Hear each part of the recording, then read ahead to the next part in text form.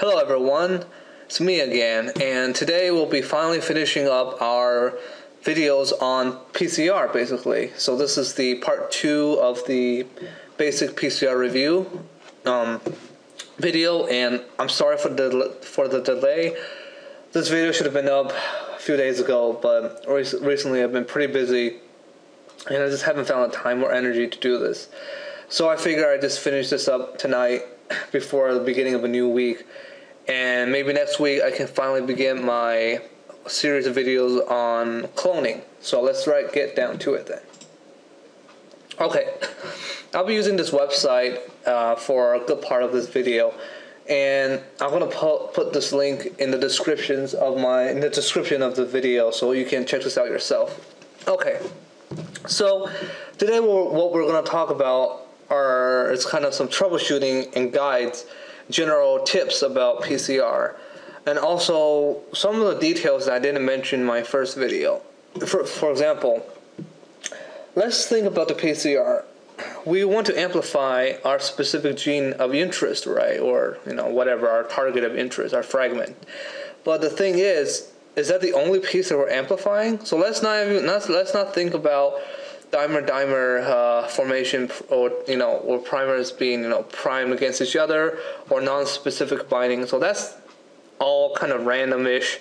That's not calculated at all. Um, what i'm saying is that are there other fragments that are going to be made at a consistent level every time you run a pcr reaction no matter what? And the answer is well yes there will be. And uh, you might be wondering what they are well, let's look at this figure for example. We have the two double-stranded DNA template, right? So shown by these two black lines.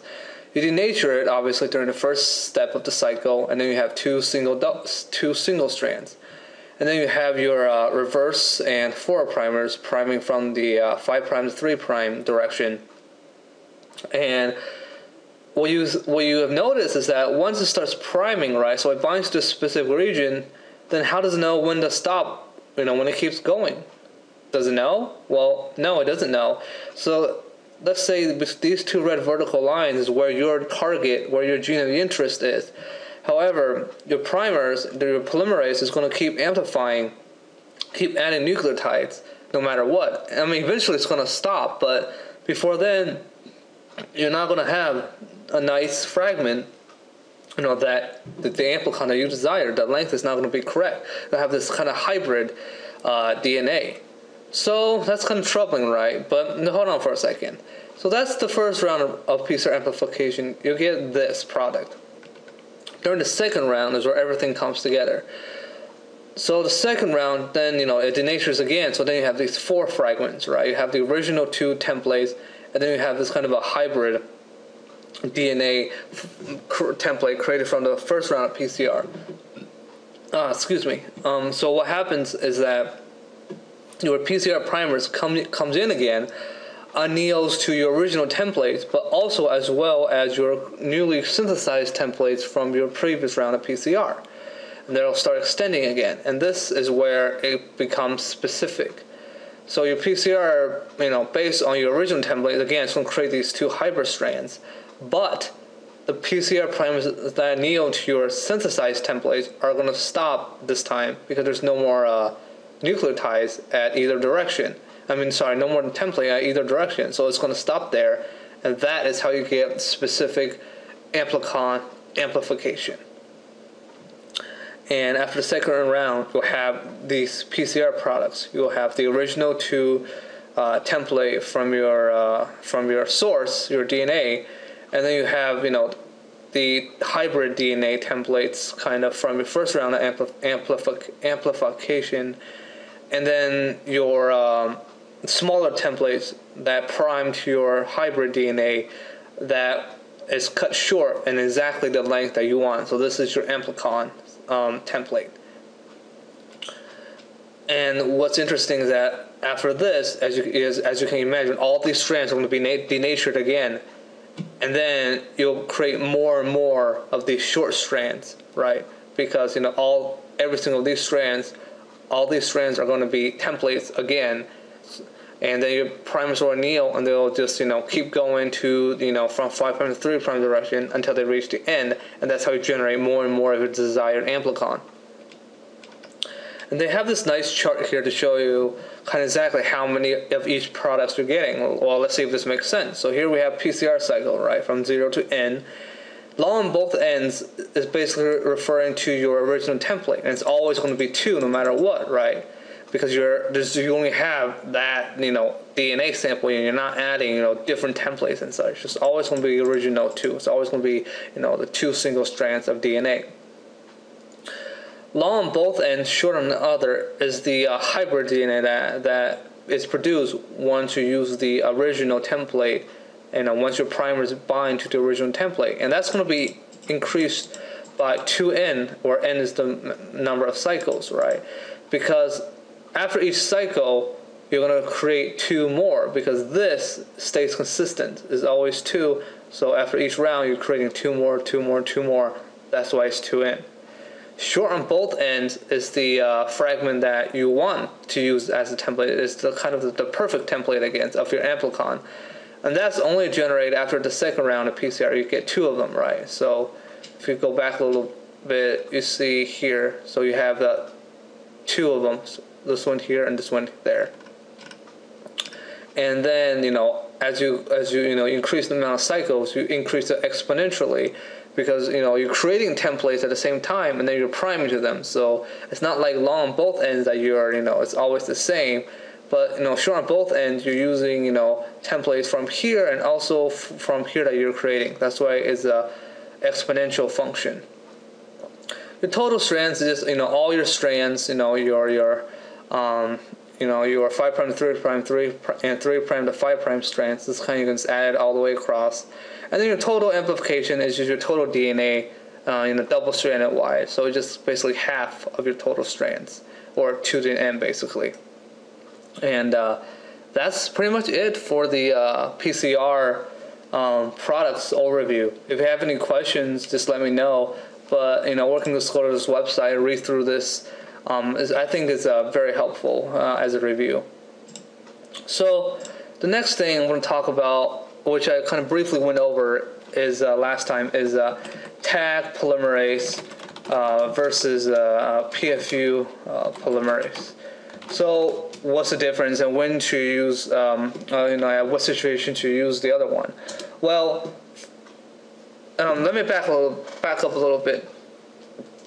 At the beginning of PCR, the first polymerase they used was actually isolated from Escherichia coli or E. coli and um, what happened is that because E. coli obviously doesn't grow at super high temperatures, this polymerase became deactivated every single time there was a cycle, right?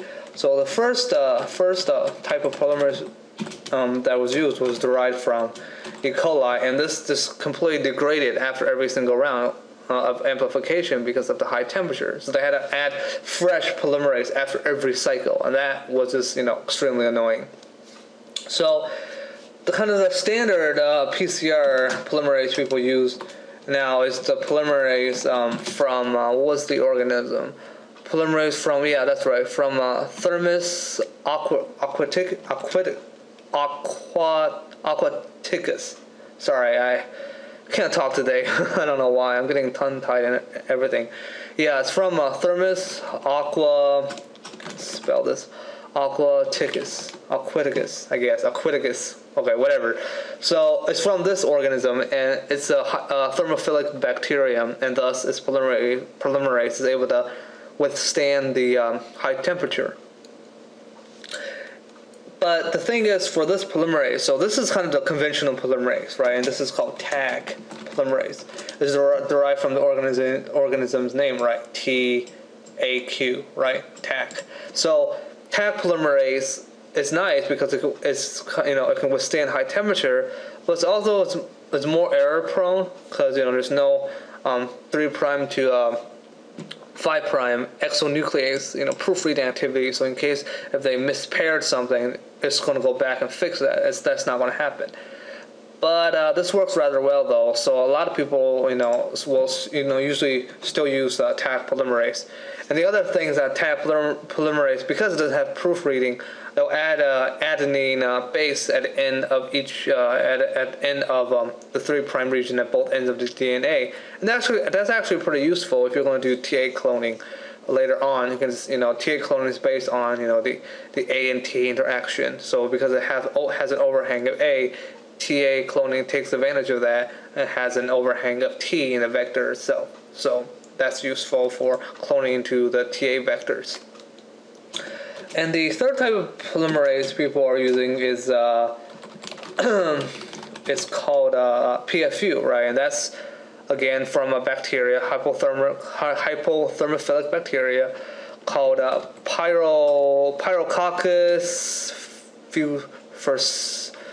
for what was it called again? Pyrococcus furiosus, something like that. Furiosus, I think is that's how you spell it. Yeah, Pyrococcus furiosus. Uh, I hate these bacteria names. Can never pronounce them correctly. Anyways, and that's called PFU, and obviously, again, it's derived from the name of the bacterium, PFU. PFU. And this polymerase is pretty handy because uh, it does have exonuclease activity. So for so if you want to make sure that it's correct, absolutely correct. For example, for cloning, you want to use this, and uh, it it's because it has the proofreading. It won't leave any, you know, won't leave any overhangs of, of adenine at the three prime ends. So it's going, these are blunt ended proof read uh, uh, DNA fragment. So this is uh, obviously um, you can say it's better than Taq polymerase because of that re- reason. But I guess if you wanna you want the overhang, you know, for cloning, then I guess Taq will be, will be better. And also Taq is a little bit faster than PFU, so PFU takes a, a longer time to to amplify. So I mean, they're both very good. Some people use Taq, some people use PFU.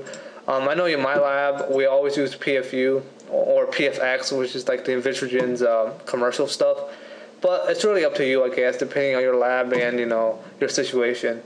But that's kind of like the general differences between Taq and uh, PFU. And the last thing I kind of want to talk about is just some general troubleshooting um, some general troubleshooting for PCR.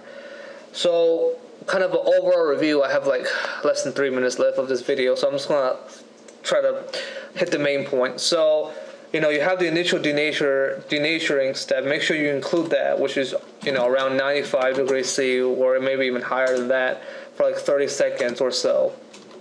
Right. Then you have you know the cycles, the one, two, and three. You know cycles. You have you know more denaturing you know, at like 90 or 95 or whatever for like a certain amount of time. Um, and then you have uh, the annealing step, which is you know lower lowest than your lowest TM, so let's just say 55, and then you have the extension time, which is usually around 70 some degrees, is where like the uh, polymerase has its optimal activity. So and then of course you can keep your uh, PCR product at 4 degrees forever.